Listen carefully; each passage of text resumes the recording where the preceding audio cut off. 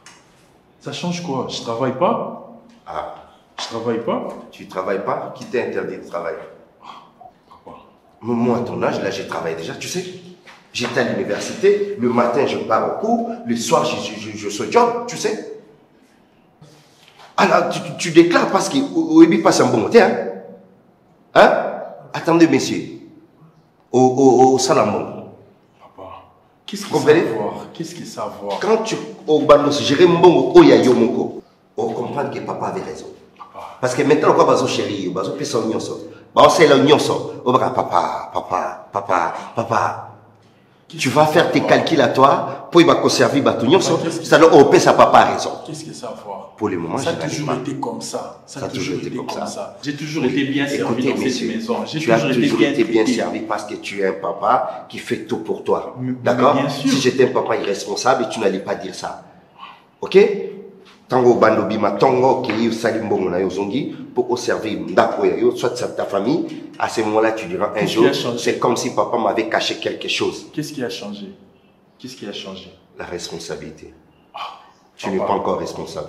ben attends elo nini tu comprends pas un jour ebakisa mi charge eza te nazaka nga moko mwana olongwe mosala te osalaka place osalaka mais na ocomprendre te il y a des charges parallèles monsieur oh.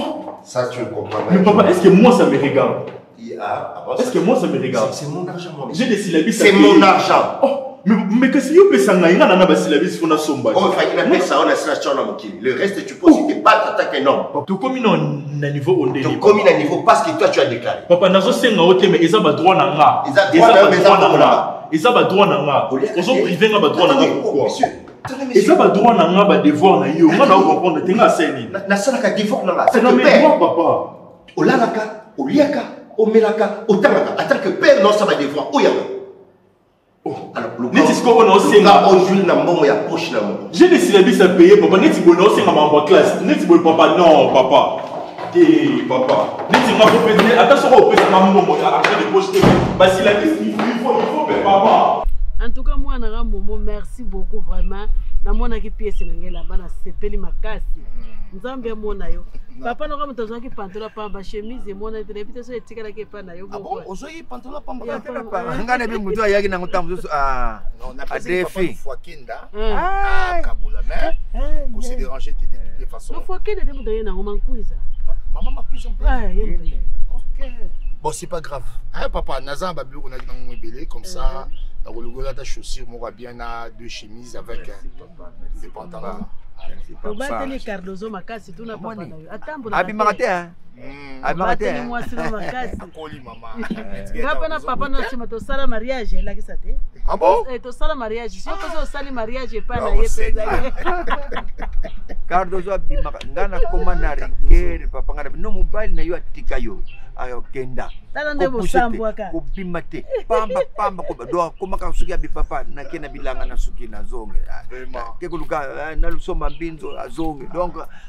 vraiment en tout cas na nsima na yo moto atikala kokomi bino na banzete oyobasavuka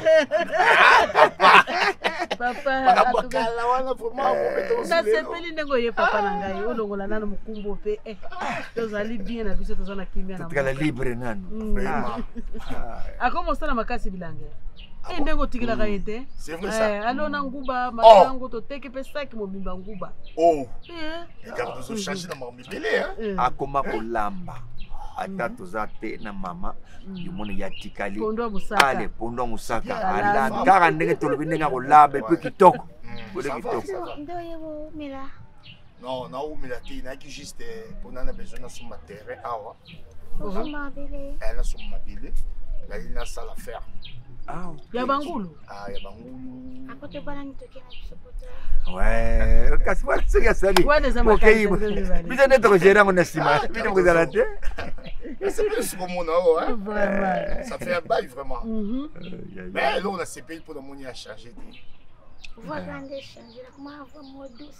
Ah bon Nakoma mpe na chorale. Oh, c'est vrai ça. Eh, Losambo evandi wana. Même Arma Bitumba nazaki. Non non non. Eh, Atika. C'est bon, c'est une bonne chose. Donc on a sepeli vraiment. nasepeli makasi me mama kose dérange te nakose dérange te mwana nga motuna nga ezaka moko hmm. omoni biso nai tozali obebisaki moseka mwana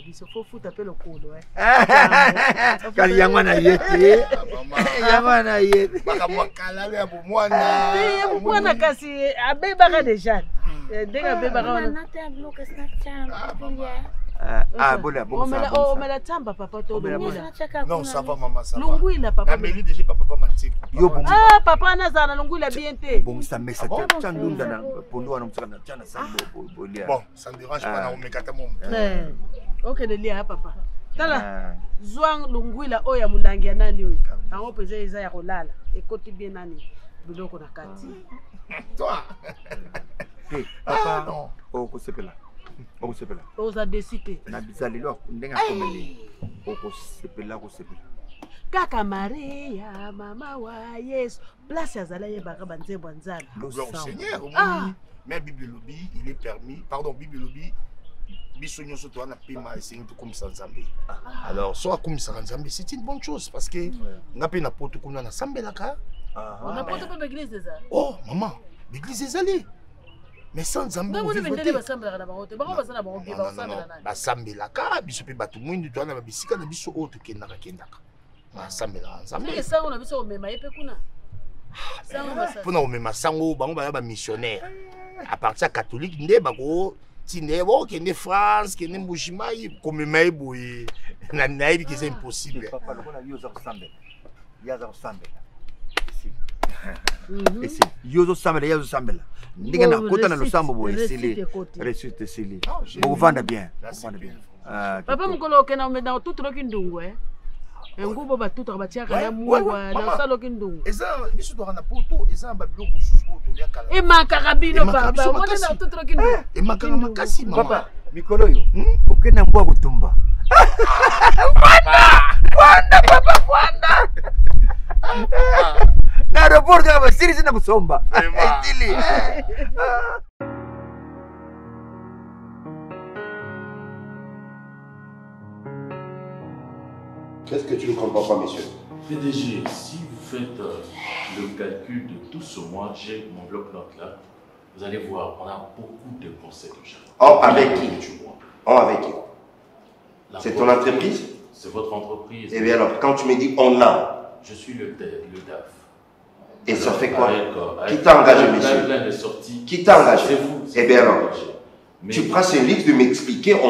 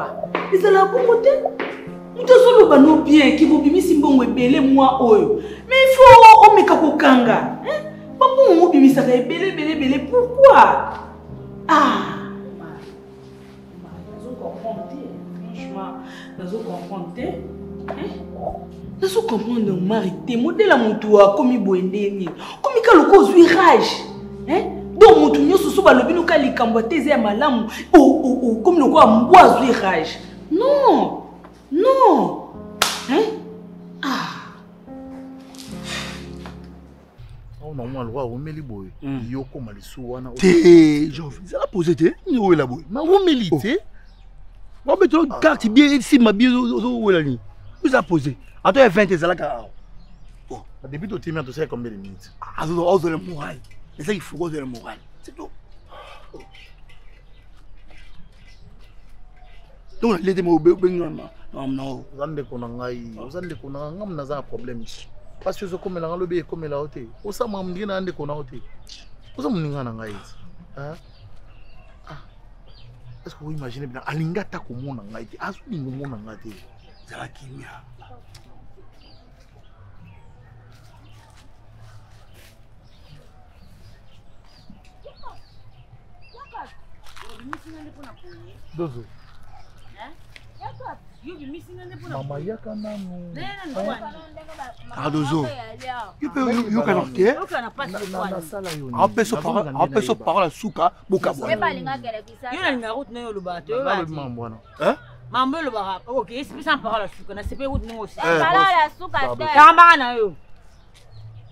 yo yo mikolo na tiko bete yango no komi okumisa mapeka eh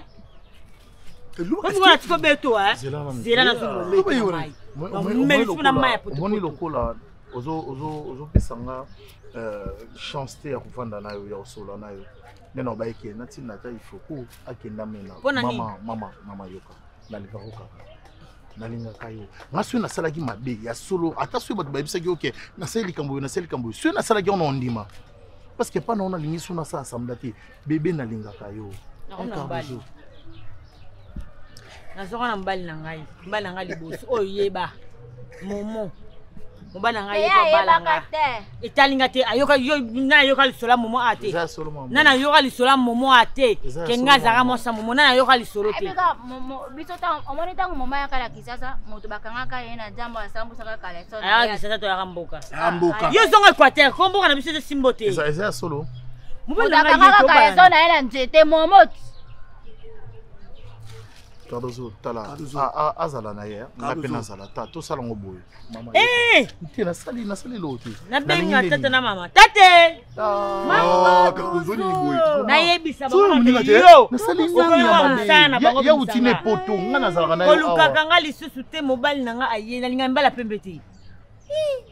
na ndambala mwindu na change na nga change change na nga na change na nga na lisu pembe te bois noir yo mokwana obetaka nga na mayo olobaka nasosaka zwa vite mobali na yo tolisaka ye zwa ye zwa ye zwa ye naboyi yo mpe lisusu batango yango te bamomoti mais oyo ayo nde sikoyo ezangi kaka nde bilamba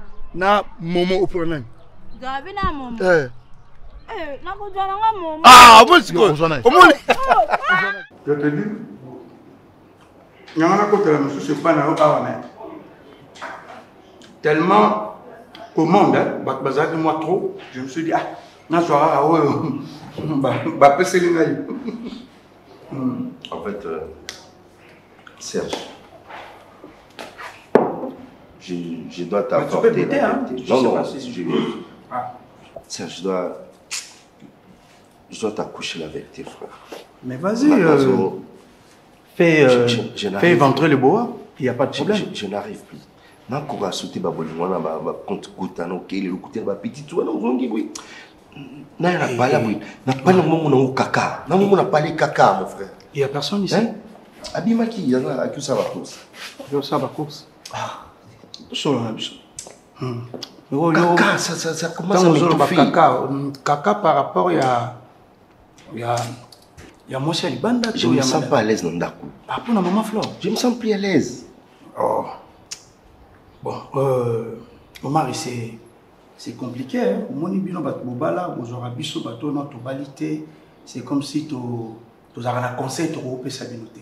oso olingi olobaka oka non mon frère yo nono obali te il faut pas parler oyebi baréalité ya libala te mais baréalité oyo tovivraka na balibanda wana eza déjà bamabala oyo tosalaka plus que vous oyo bozalaka à l'intérieur tu vois un peu ce que moi je peux te dire moto nyonso alingaka esiko aza à l'aise tranquille oyo bazochérir ye bazorespecte ye si tu trouves que mwasi ya ndako azotya o kimia te oyo alibanda azotya o kimia me papa senga divorce odivorce ozwi ya libanda e bocontinue très à l'aise voilà aussi divorce oui c'est ce que je te dis divorce comment toi aussi oh, mais quand je dis divorce omari ozala le premier te oyo mwasi azotya mal à l'aise na kati ya ndako ya libala me atikali kaka wana tu sais combien de personnes bazokufa parce que mwasi azotya à l'aise te na ndako ya libala abimi mpe libanda lobi asali crise attention avc ye et puis euh, il est parti comme ça odivorce na baeglise na biso ebiki eza permiti ah! omari oh Même vos pasteurs là le font. Tu sais combien de pasteurs oyo batiki basi na bango mabala bazui basi ya libanda mpe bazo vivre à l'aise naboyi kotangela oyo bakombo otalaka yango na bareseau sociaux ils sont nombreux hein? tala mpo tokende mosika te hein? soki oboyi kodivorce kamata mwasi ya libanda ozweli ye ndako mosusu okomi kopartage soki oya na ndako noa libala tu fais deux jours libanda osali cinq jours parce que là tu te sens trop à l'aise ozo comprendre epuis bapetite wana bazalaka toujours na bilengi moko boye mpo na réalité na bango baoyekola libala me na bolingo ya vitesse ya ezongela ye oh omari sois un homme hein? sois un homme moi je peux simplement dire des choses oyo ekoki koede yo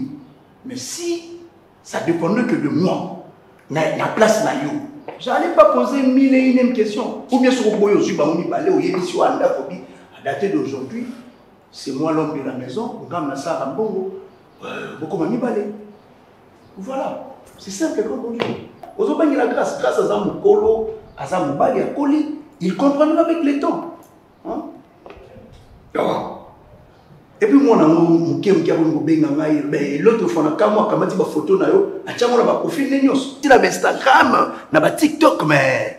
ngai na conseille ko bongo te bon lokola déjà mai ezosopana eh, bokende kaka eh. nomana ça c'est entre ami ndenge nalingaki naloba tozalaki na noko na bango bilali tosi tosololaki deja aye na ndako azotuna kaka mokolo nini ngai na bozila nano bango nde basali calcule bapapa kulutu na bango mpe bakati kuna ah, non le 30 novembre mpo nyonso esalama kaka mbala moko bandi kosala bato boye te eh, likambo eyebana mboka mobimba ntango baza kotyola mwana na ngai kokoma bango ntina bamanga ntina bavoka ntina bamire partout ke mwana ono abebisili ngai mwana yo oyebi yango te donc ndenge ezali lokola ye boye fo libala esalama yango toye mpo na programmeprogramme eza ndengefami bazozila bazotungisa ngai boni yo mpe programme mokolo nini abebisaki moseka mwana ye na toyeba programme ndenge yo oyebisa bapapa te ke yo moto boyaka momo te mboka mombe eyebi awa yo ogangaki olobi ke yo oza mwasi ya pembe mwasi ya kitoko nzoto kitoko momo aza mwindu abongi na yo te eh, ezalaki kaka erreur te eza bafoli ya morcial kasi bongo oyebisa bapapa te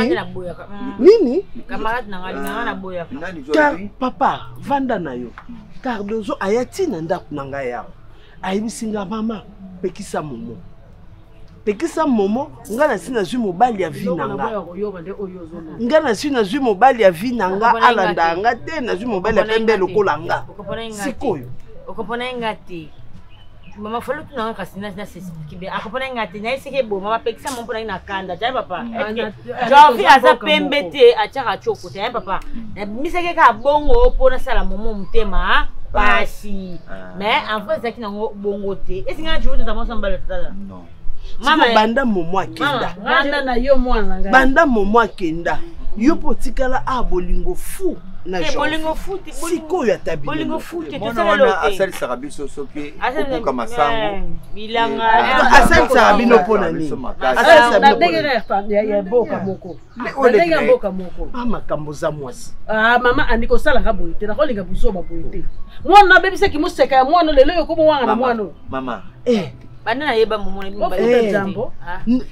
tozonga nayo na likambo wana ebandi mokolo likambo yango ekomaka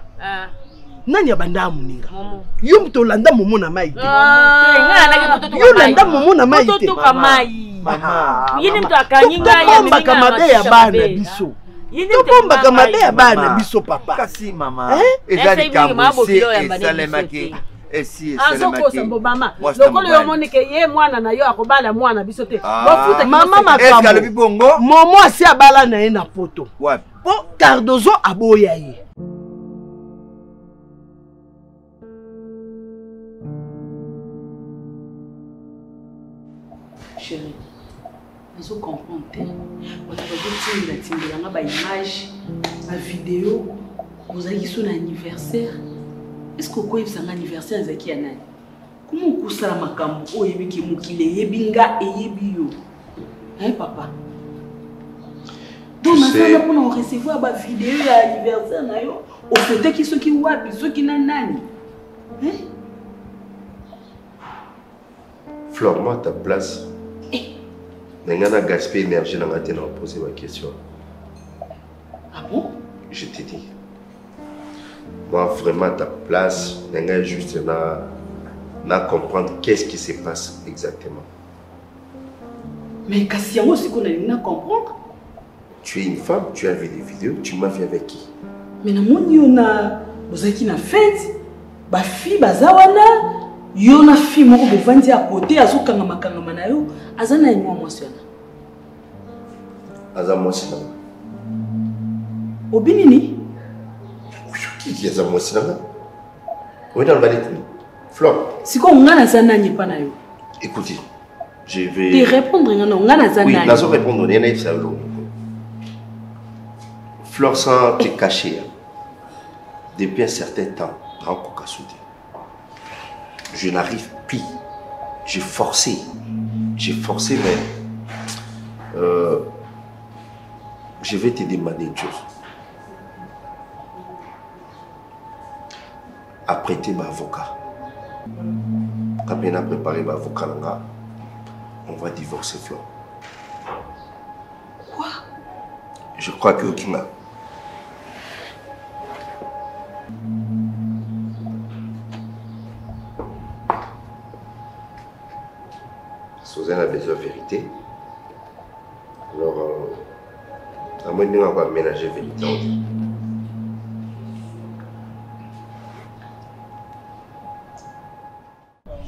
momo asabala na ye mama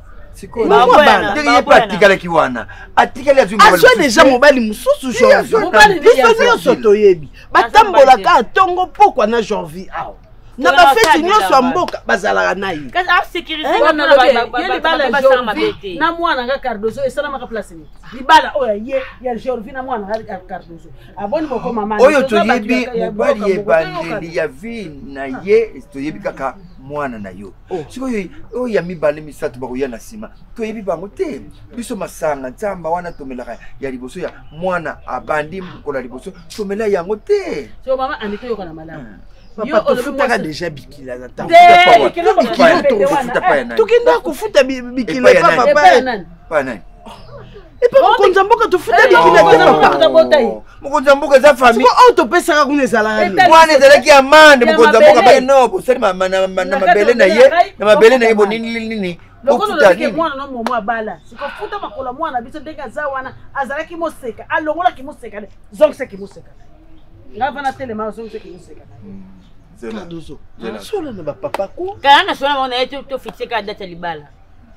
nasoli na bango deja nde toyokani eh, papa le 3 novembre hein? le 30 novembre, le 30 novembre toyeba tika wasangaatwali nga nase nateki na saki ya nkuba misato wana na saki ya masango mibale mpo na nini mpo na kobongisa ndenge tokosala noko na bango akoti zamba mpo na kobomani yango anibongisa place tovandi toza mboka moko ebongisa malobano na makanisi na ye abala na poto mwasi yango tosala mariage ya poto yango wapi awa atikaka mwasi ndenge aye amema mwasi atika mwasi te mama makambo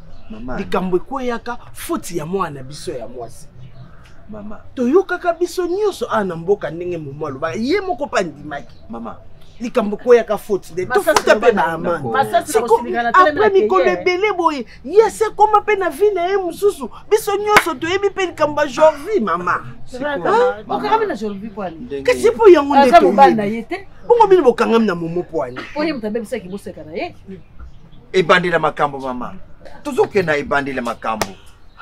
ye mpe atikala mobali aye o oh, nabala aza te toyebi kaka ke toza kozela momo ake koluka vi aza ye wana paye sikoyo mama momo oyebisaka yo bongo mm. ah,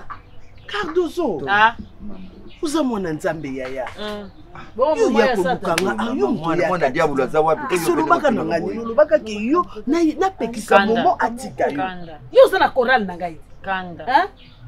ani eza na coran na ngai sango mokonzi alobela biso tozala bomoko yono tozalaka mibale tozala bomoko ah. eh, mama ngai nakopesa liteya boso tokende sunga biso sunga biso olongola biso tosungana mokumba oyo momo akamata na poto mpe akozala na basi mibale kosala mpe mabe mpe te abandaki na yo mwasi wana kozala mwasi ya mibale batie mwasi ya liboso esili bayokana kaka esili mama eza nini yango yo obengi ngai tosolola obandi kolela bino oza na makambo te nayebisi tala flore libala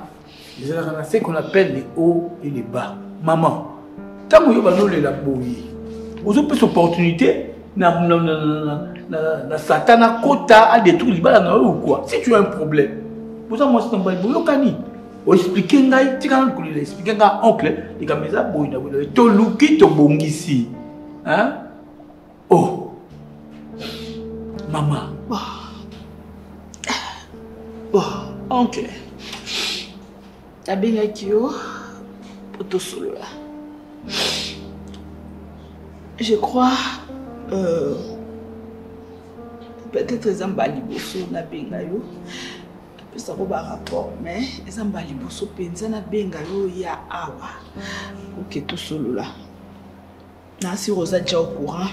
peut-être ya nyonso. Omar abengaki ngai lobi ayebisi ngai euh, na prépare nabenga nabenga baavoka na nga ye mpe abenga baavoka na ye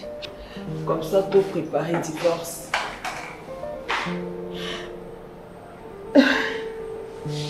nayebi te eh, raplo zerno prépare divorce oza na problème awa nanga lopala bino problème ata moko te mais kasi bongo wana problème te oprépare divorce ya nini problème te pepe toana oh. problème te alobi alembi ngai ah bon asi azwi mwasi na ye mosusu hmm. ameki kokanga motema hmm. akoki te akoma koforce makambo abi na nga naza subagu na ye te ah, mama vanda nokimia oyo akofanda na ye ah oyo alingi abala ngai naza koampeshe na makambo ebele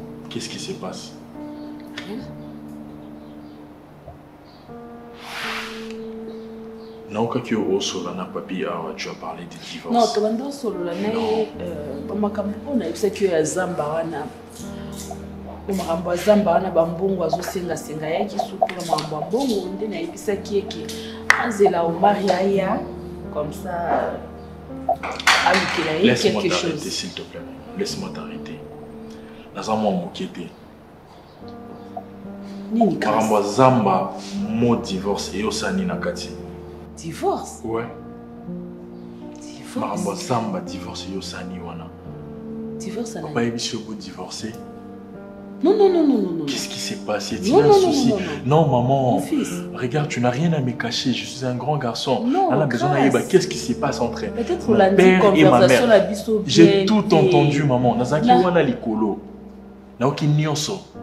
tu pensais que je dormais nalamuka ye déjà nayoki makambo nyonso tout maman c'est quoi tout ça na age na nga baparent na nga balingi badivorce elo nini elingi ekoze divorce entre yo na papa qu'est-ce qui se passe c'est vrai que ces derniers temps papa a totalement changé mais nayebi te yango nde esalaki bokoma ti na point ya koluka kodivorce pour ke nani aya kokota na kati ya ndako oyo J'ai compris le but ce qui peut azui moto, c'est ça non, Qui est cette personne Qui est cette femme eza mpenza bongo te sauf que toza mwa baproblème kaka mike mike na papa bino eza vraiment euh, makambo ya divorce te ya motu te maman arrête euh, s'il te plaît s'il te plaît c'est ce que j'ai entendu maman naza naza sour te nazoyoka très bien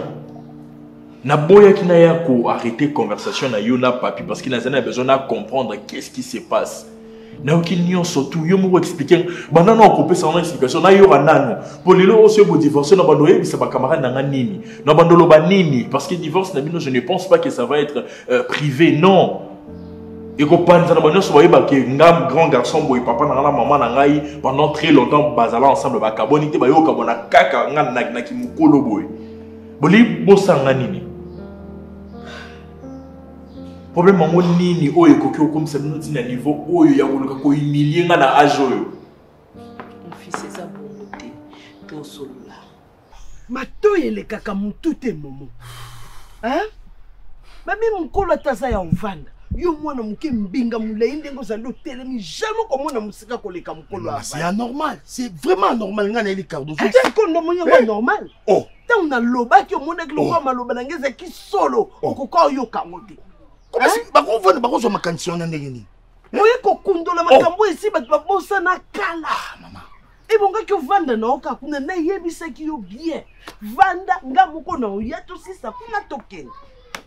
mama mama en tout cas nga aza ah. clair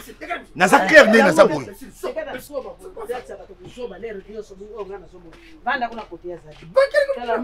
poto ekosa yo te poto ekosa yo te omoni poto bato oyo baza kuna baza bato mwindu lokola yo biso mpe makambo koya kolakelela nga mwana na misu na nga te kolakela mwana na misu na ngai te po tokoki kokosa ye te ndenge moko biso mpe mboka mpe ekosa biso te ah. bapapa nalobi no momo ndenge oza wana yo obebisaki moseka mwana oyo te ah. lobango lelo na minute ye moto abanda ye alanda mwana na mai biso nyonso toyebi yango biso nyonso toyebi yango ye moko aloba papa